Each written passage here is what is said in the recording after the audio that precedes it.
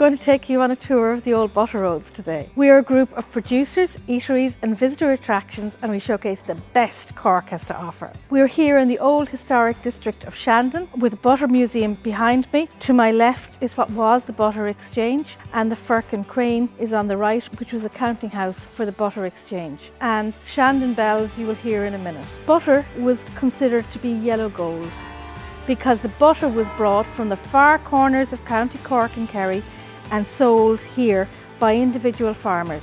They carried it in firkins, which was a particular size of wooden vessel. Firkin was graded and they got money based on how good the quality of the butter was. The firkins were carried by a man on his back horse could carry two or horse and cart could carry eight.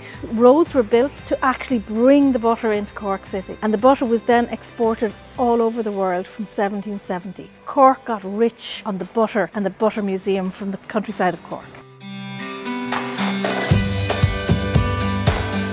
I was one of the founding members of the Old Butter Roads food trails and it was really important for us to promote the food that is produced in our region. So for example these scones, you can see we baked them freshly this morning and we use lovely Folláin jam from Ballyvourney. We have also gorgeous free-range eggs from Tommy in Whitechurch which we use for baking our cakes and uh, lovely quiche. And this dish, it's the grilled halloumi from Toonsbridge Dairy and it's served on a bed of lettuce and the lettuce is grown by Malachy in Mallow in Annabella Farm. The olives and the pesto is sourced also from Toonsbridge Dairy and their real olive stall. And here this is a lovely pide Turkish bread but it's baked locally in Arbutus. So you can see here just at this table in a couple of dishes we really walk the talk, we really serve the local food.